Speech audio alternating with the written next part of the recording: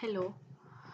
So this video gives a little understanding on how you can uh, set up a document on the Cygnature application for signing in just a quick four-step process.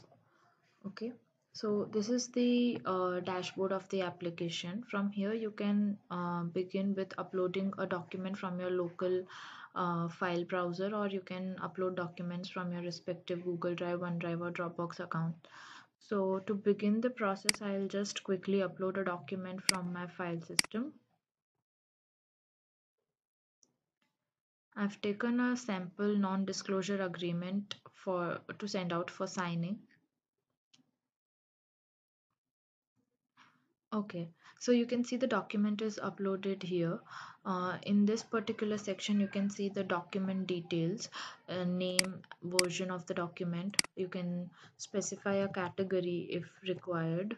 Uh, you can write a description for the document for signers to go through it or to know what the document is all about. Uh, you can also attach supporting documents if required, uh, like annexures or something to go with your main agreement. So this is the document details. Now from here you can select the signers for this document. So you can pick from your predefined groups, signer groups. So you can see all the signers in that group in your list or you can simply uh, choose individual contacts from your list to set as signers. Okay, so I'll just uh, quickly uh, pick one or two of the contacts for signing the document.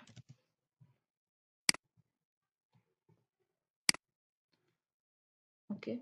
Now if the contact is not in your uh, signing list or your signers list you can just add them uh, from this particular control add add individual contact.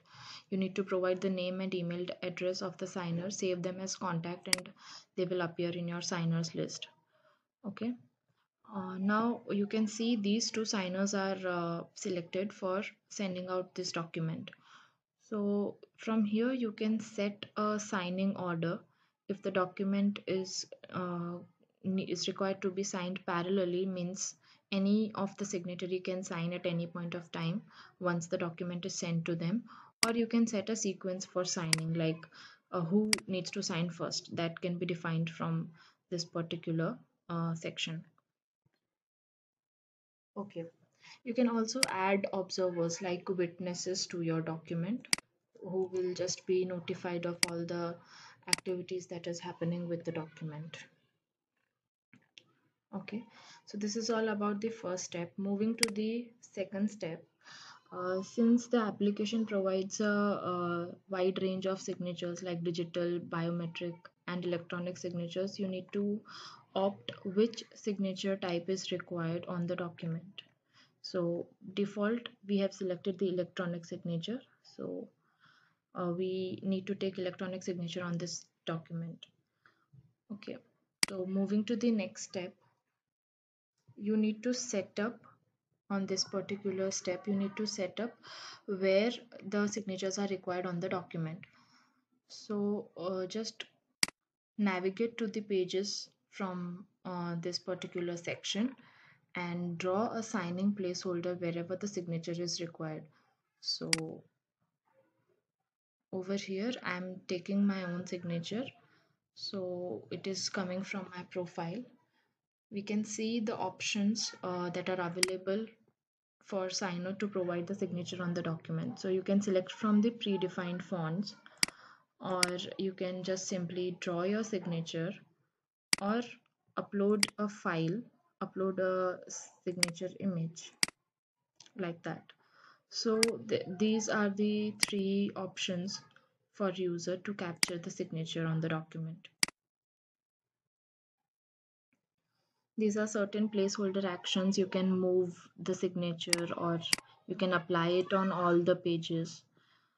Okay, additionally, you can set up the document for initials, name, date, etc.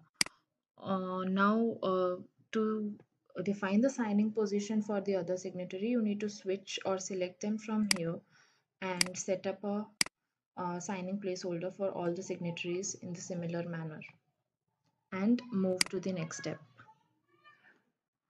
so on this step you can see all the uh, parameters or all the uh, configurations done in the previous steps for setting up a document. Okay you can define the signing due date if required and uh, if at all the automated reminders are required to be sent to the signers before the signing due date. That's it. So in this quick four step process you can set up a document and send to the signatories for signing. Thank you